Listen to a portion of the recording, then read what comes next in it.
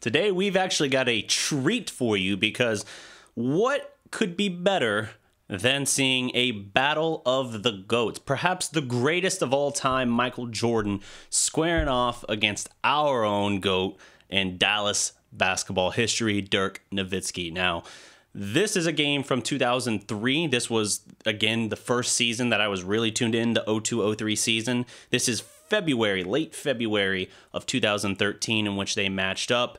And thanks to SB Nation and Mavs Moneyball, today we are going to get to go into the Wayback Machine again for another edition of our vintage collection. And we are going to examine Dirk versus Mike. Let's go.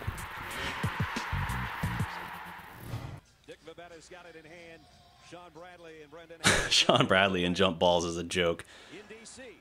All right, so we're in DC here. I've not watched this one. I've not seen this game since I guess it would have been when I watched it live. There's Michael Jordan baseline. Washington out to an early 13-4 advantage. People forget, man, Jordan with the with the Wizards, man, he still had it.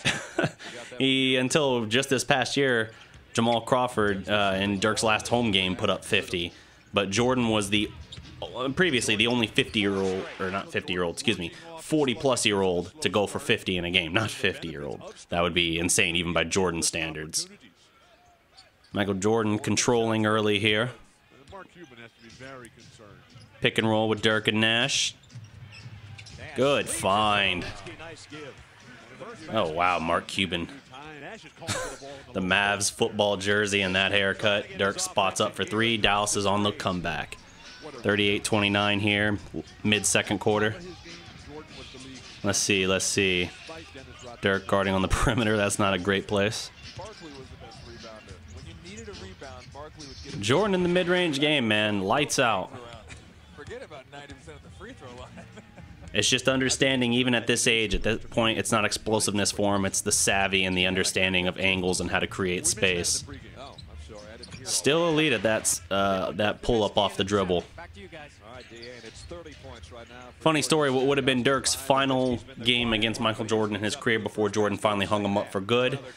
Uh, he missed the game because he was so eager to get out on the floor and play. Woo, Dirk in transition with the jam.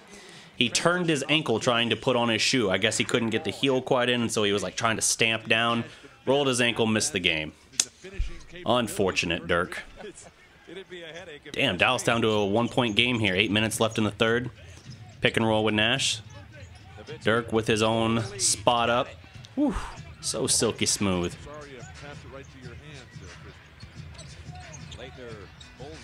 Oh, Christian Laettner, is that who that is?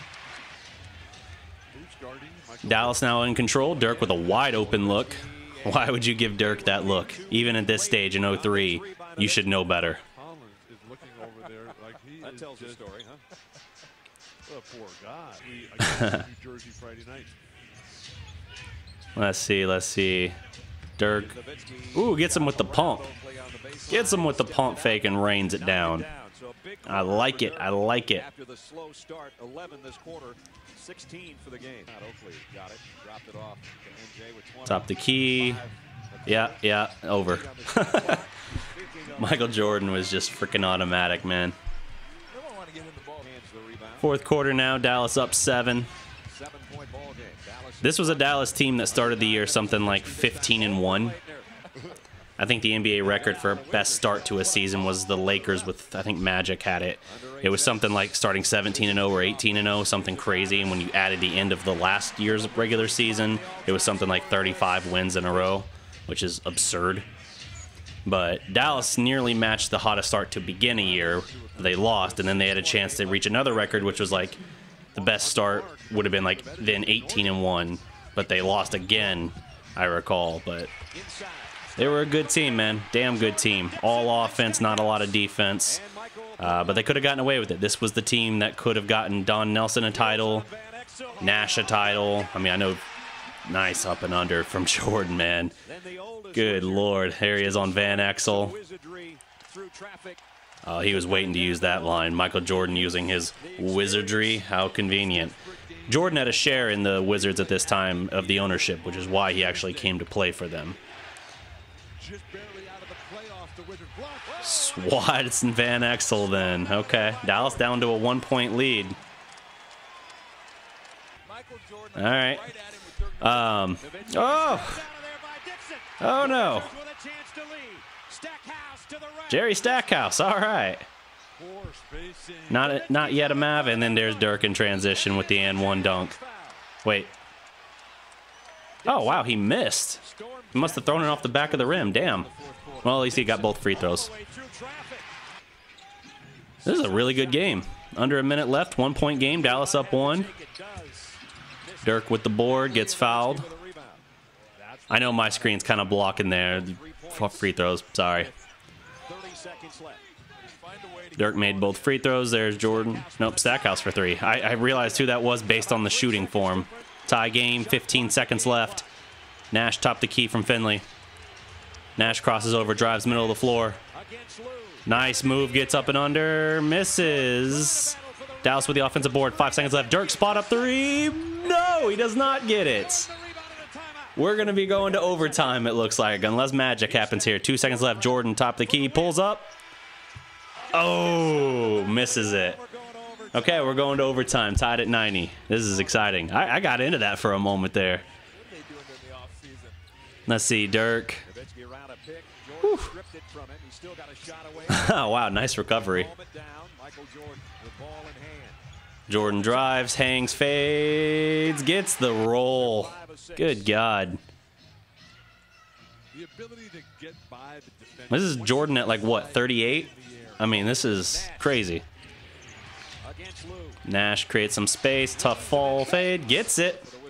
Dallas up four with under a minute left. Jordan squaring up, pulls up, bucket. How is it Jordan-esque? It's Jordan. Jordan-esque. What you would say of esque? Oh, wow. What a weird hanger for Nash, but it goes in. There's Raja Bell. What you would say in that case, if it was Jordan-esque, you would say it if another guy made the play. If it's the guy himself, then it's not Jordan-esque. It's just Jordan being Jordan. How does this just... Uh, okay. Dallas up four. Jordan hits it again. 11 seconds, three-point game. Wizards ball down three.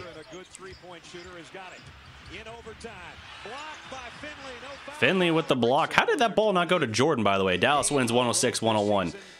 Wow. That was that was actually a lot more thrilling than I thought it was going to be. Um, that's pretty cool. Again, thank you to SB Nation for providing the clip, for putting all this together. Uh, this is awesome. That was way, way better than I anticipated it being. I mean, I, I expected it to be good. I didn't really, I didn't remember it being such a close game watching it as a kid. I probably just knew, you know, I'm trying to think. At that point, I was probably 12 years old, maybe just turned 13. So, yeah, I guess I just didn't remember it as clearly, other than the Mavericks winning and both Dirk and Jordan scoring a bunch. So this is uh this was cool. This was an experience for sure. I'm actually looking forward to doing more of these. I, have recorded these first two or three now in a in a span of just a couple hours, uh, as I'm finding time here and there over the course of my day. But this is this is pretty cool. Like it's it's nostalgic for me. Hopefully you guys enjoy the content. Uh, I put together this new layout on the stream. Hopefully you dig it. Trying. Um, but I think we're gonna sprinkle in some of these from time to time. It's a pretty fun, pretty fun way to get some added content and to kind of just relive the moments together, the moments of whether it's vintage Dirk. I know these early ones have been vintage Dirk. I am gonna record some new stuff actually today, later this afternoon is my plan after work. So hang tight. We got a lot more coming. Mavs content is on the way, even though we are now in the thick of football season, both with college and NFL underway. But uh, we're not going to wait until October to get into the Mavericks talk. So until next time, guys, remember every legend was once a prospect. Salute.